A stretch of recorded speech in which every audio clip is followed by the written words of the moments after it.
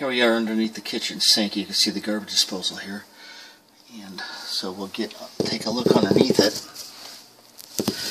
And you'll see the cord goes in to it.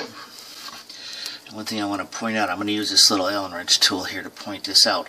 Right here, and on the bottom of garbage disposals, there's a reset button. It's a little red button. Use your finger and push that in.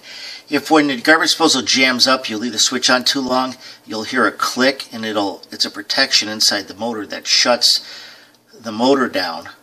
There's a little circuit breaker built inside the unit and that protects the motor from burning out. So after that click goes, the motor will cool down generally about 30 seconds to one minute. You'll hear another click. Sometimes you don't hear the click. Then come and push this in. If you push it in now, nothing will happen. You won't hear anything.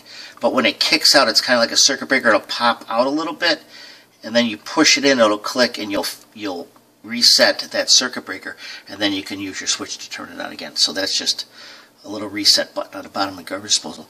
So if you're jammed, you take this wrench that comes with the garbage disposal, and or you can just use a regular Allen wrench if you don't have this or you lost it, and insert it in the center.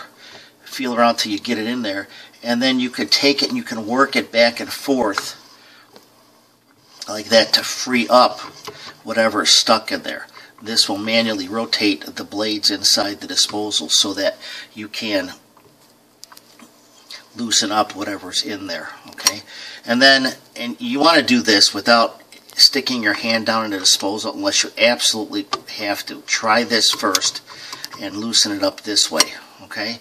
Uh, if you're gonna put your hand in the garbage disposal I would suggest you whatever side the switches on the operator disposal you use that hand to stick it down in there so that you don't have a moment of brain fade and you have your hand in the disposal and you reach over and hit the switch.